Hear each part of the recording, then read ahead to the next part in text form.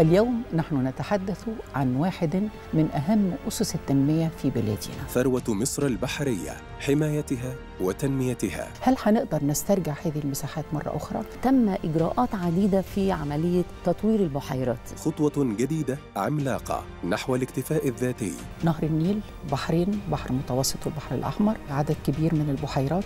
الناتج من ده كله فين؟ مصر الحقيقة خطت في السنين الأخيرة خطوات جادة وكبيرة جدا في زيادة الإنتاج السمكي من الاستزراع. الدكتورة منى محرز عضو المجلس العالمي للأسماك والنائب السابق لوزير الزراعة في حديث العرب من مصر. أمة تشيد أعمدتها ليس لحاضرها فقط ولكن لمستقبلها ومستقبل أجيالها. حديث العرب من مصر الليلة السابعة مساء على قناة مصر الأولى.